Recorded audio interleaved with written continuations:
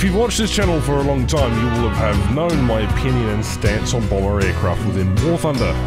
It's been a couple of years since I revisited that video and I will do at some point during this year. However, today's topic comes out of a discussion I was having with a friend. More so, he was talking about the possibility of having supersonic bombers in War Thunder.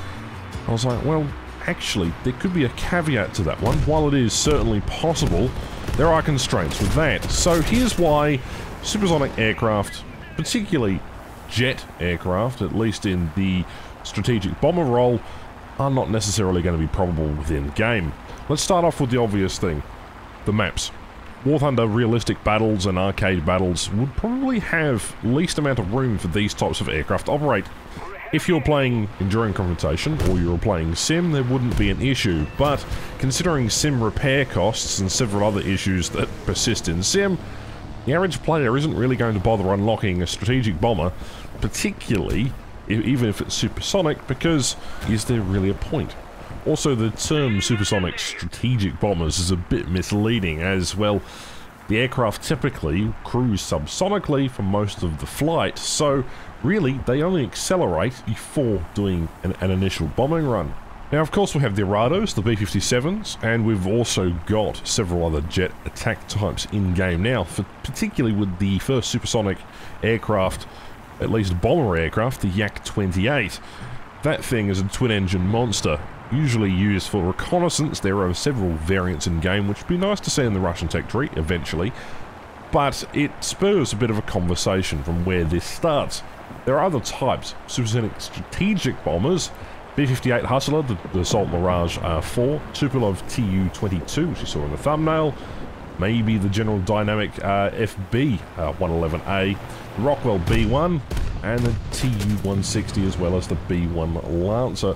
And there's plenty of other types, experimental types like the BAC TSR-2, and several other things, but for the most part, there isn't a great deal of strategic supersonic bombers. Of course, you could go on to talk about the Vulcan, or maybe the B-52, or for that matter, the Tu-95 as other options as, I guess, additions to the game, but considering how high tier gameplay plays at the moment with missile meta, good luck getting your, I guess, slow as all hell B-52 into orbit before getting missiled you after you try and take out a base. The issue isn't the deployment of the aircraft themselves.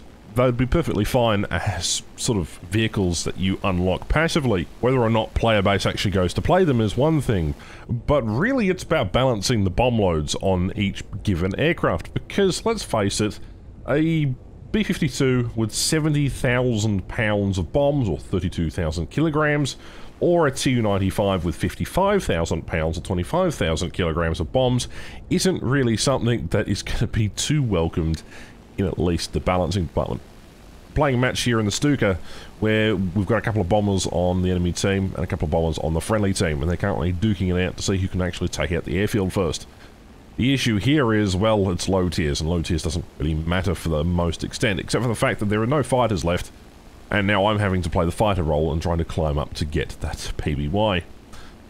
Again, see the annoyance here? And this plays out through top tier as well, no matter what aircraft it is. If it's a HE-177, whether it is a, a BV-238, whether it's a B-17 or a B-29, and let's not mention repair costs. How are you going to feasibly balance these things while there is existence of other, like, active, uh, more advanced platforms and Cold War fighters? Because let's let's be real here. The F4 Phantom carries a bomb load that you'd probably be fine with.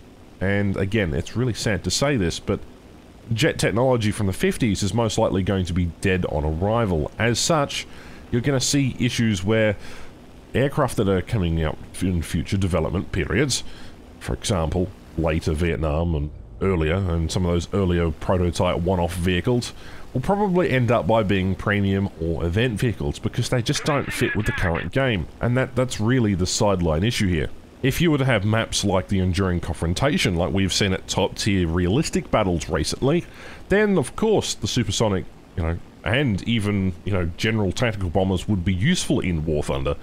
but for the most part, their use is rather limited. In War Thunder, we have two types of ground targets. There are your main objectives, particularly ground vehicles or static pillboxes or just units that are in front of the, well, basically the front line.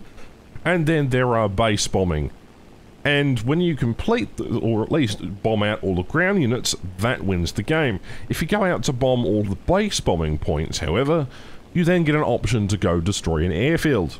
Once you've destroyed the airfield, it's game over effectively.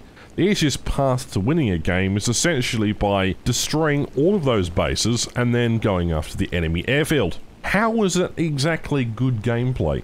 I understand doing it for a bit of a grind, a bit of a challenge, a bit of a, a bit of fun once in a while, or you're grinding a bombing task, or you're doing an Operation Winter or Operation Summer or something like that. Generally speaking, these aircraft are certainly a little more useless to your team than ever, which is why they re basically restricted the limit on, on bomber aircraft to four aircraft per team. How do you then convert uh, some of these principles and uh, from the real world and at least allow them to come into game? There is no feasible way that that can be achieved. If it took Gaijin Entertainment five years to put in the Avro Shackleton, can you imagine how long it would take them to put in Supersonic or even later war tactical Cold War tactical bombers, you know? I'm of two minds here. They're not exactly practical vehicles. What are you going to do, carpet bomb the whole entire map with a B-52 when ground forces? Is there going to be suitable enough anti-air protection? Well, they're kind of a bit broken as is, aren't they?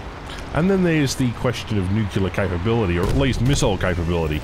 I know the Vulcan could carry air-to-air -air missiles, it, it could also carry nuclear-guided bombs, but for the most part, a lot of them could, uh, you know, be armed with missiles or aerial bombs and nuclear-armed uh, weapons loadouts as well.